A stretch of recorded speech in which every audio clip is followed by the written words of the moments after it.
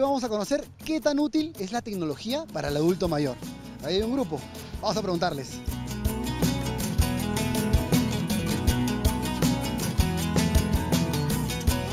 ¿Qué están viendo? Dígame. En YouTube. ¿Usted? En Face.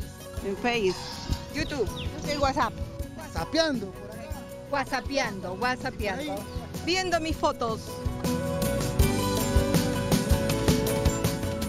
Ahora estamos con mis amigas Tech. ¿Por qué? Porque ellas y la tecnología están así, juntitas todo el día. Pero, ¿para qué lo usan, por ejemplo?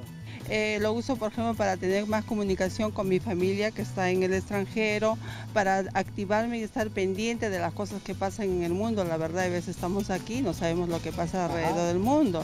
Bueno, yo uso mucho el WhatsApp y el Instagram, pero nosotros tenemos el WhatsApp que es casi como una familia, todo lo que es folclore. Y nos saludamos a diario, sabemos de nuestras cositas que nos pasan, cuando hay alguna persona que está delicada, siempre nos enteramos por intermedio del WhatsApp, que para nosotros también es una ayuda y saber cómo están nuestras compañeras, que somos como una familia. Que todos se animen a usar la tecnología. Claro que sí, yo creo que todas las personas, ya no, No hay que tenerle miedo. No, no hay, al comienzo yo un poco de miedo, ah, pero después ya estoy en onda.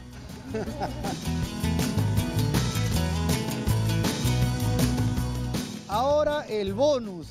Emma, ¿qué edad tienes? 84 años. Y no hay edad para usar la tecnología. Parece que no.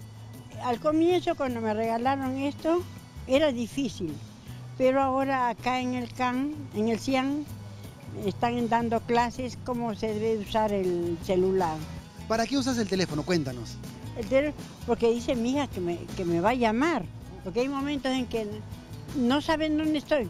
Me vengo acá, pero tomo mi carro, me voy al Callao y, y nadie sabe dónde estoy. Ahora, un tip, por ejemplo, para el uso del adulto mayor y la tecnología es, así mostrándolo rápido, ahí está, el teléfono anotado. Tu teléfono, tu número telefónico anotado en el propio equipo. Sí, cuando alguien me dice, ¿cuál es tu número? Tú me lo dictas. acá lo digo, entonces ya yo entrego al... Solo para amistades.